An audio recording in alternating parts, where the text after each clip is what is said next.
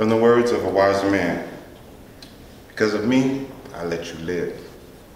Because of you, I've changed my life. I had just gotten home. I'm sitting in my car and I receive a call from my younger cousin saying, Damn, cousin, guess what happened to me? I was at grandma's house and dog, shit hit the fan between me and Auntie T. Got into an argument because her husband, Junior, got caught up with some females in the house when she was supposed to be at work. She thought I was there to keep a lookout so we wouldn't have crackheads running in and out the house. What happened? I said. Well, he said, she cussed me out and wound up taking me back home to San Pedro. And our whole ride home, Junior was talking crazy to me because he got caught. I couldn't believe Auntie was choosing him over me. Man, what is family? Foley said. I'm just calling you because Junior was talking smack about you too. And he said, next time you get caught up in family business, he was gonna kill you. I said, what? What did you say? I couldn't believe what I was hearing. Really? I replied. I was sitting in my Cadillac, that big body thing, chromed out. I was hot. I'm listening to the radio bumping in my driveway. I couldn't believe what was going on. I just got out of school and it's 1.30 in the morning.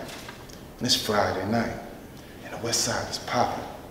From Hollywood to Marina Del Rey, cruising the strip late night, after hour clubs, sexy car hops on Crenshaw Boulevard all night long.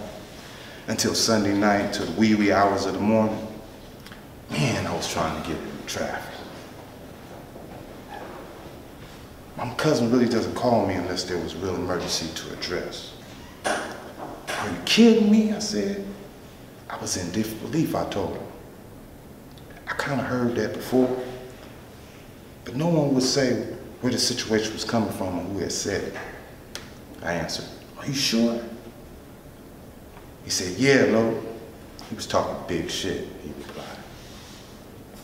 As I was talking, something told me look up because it was late in the evening and I was sitting in my car with the engine running. I was kind of slipping. So as I looked up and I looked into my rearview mirror, I see a familiar figure just walking by behind my car. Calmly just passing, without a care in the world. I couldn't believe my eyes. It was Junior. He was on a mission to buy some crack from the corner late night crack spot with a t-shirt on and some shorts, some beat up tennis shoes with no shoelaces in them. The beams was on. And, and I'm not sure if he saw me, but I sure saw him. I said, bro, bro, hold on. Here this fool is walking past right now. Let me call you back, cuz. I jumped out my car. Yo, what's up? What's up, Junior? Do you need to holler at me about something? I said. Who, me? He said, yeah, I heard you said you was gonna kill me.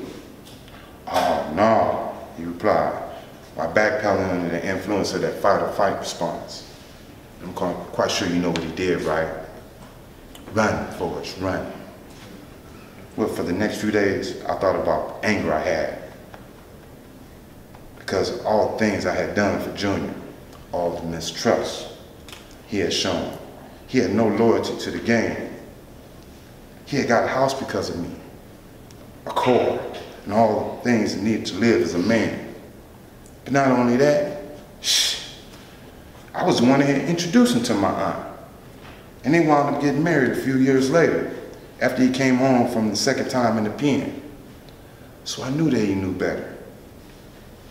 I just couldn't understand where his mind was at, let alone analyze the regret I felt at the disbelief of how our friendship had changed.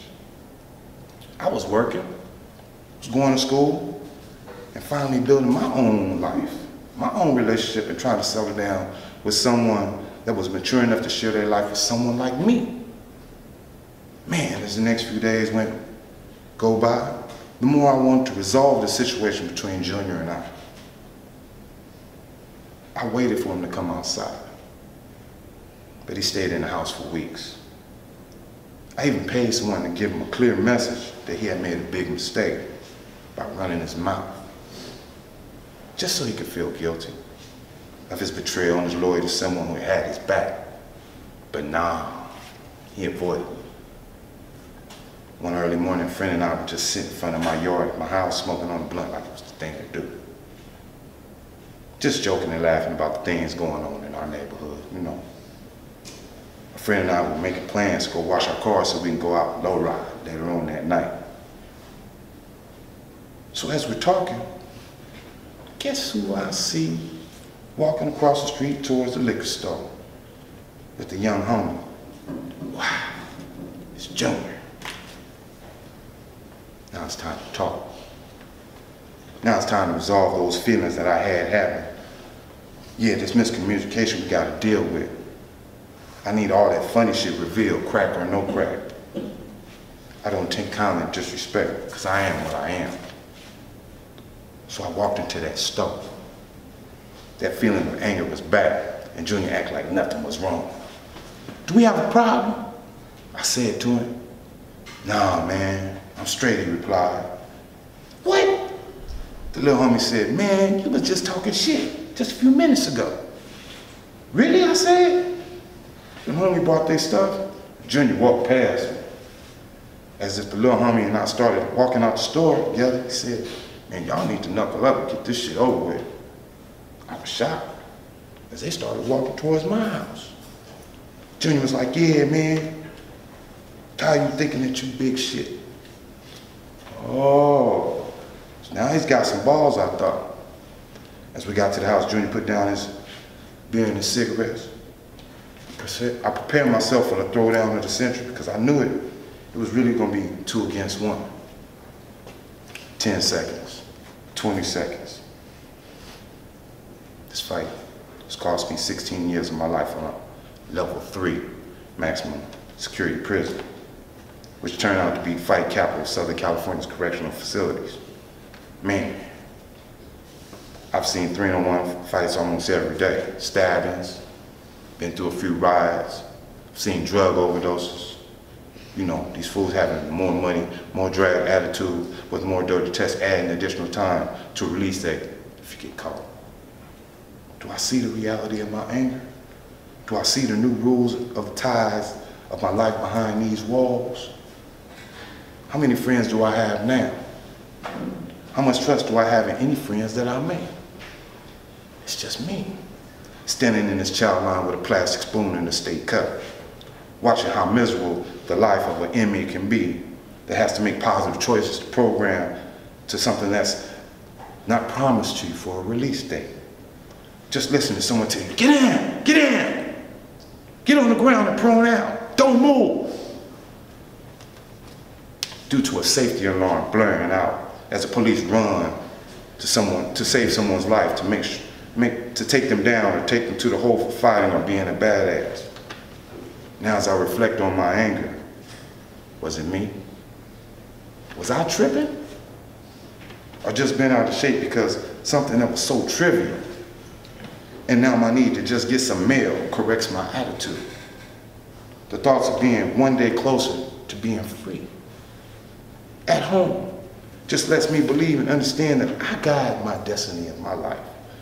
I make my future, not my past, which builds my road to success that will lead these shackles off my feet.